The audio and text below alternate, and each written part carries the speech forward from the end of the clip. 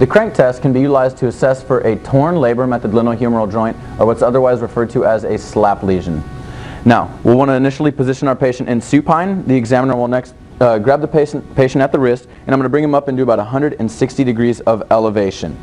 We'll go ahead and ask the patient to relax their arm down to the plinth, maintain about 90 degrees of elbow flexion. Now the clinician will want to apply an axial load through the humerus, compressing the glenohumeral joint. While maintaining this compressive force, the clinician will next want to control for internal and external rotation. A positive test is indicated by reproduction of the patient's concordant pain either with or without a click while executing this test. Currently, the literature that has analyzed the effectiveness of this, of this test has been mixed, and therefore the clinical utility is unknown at this time.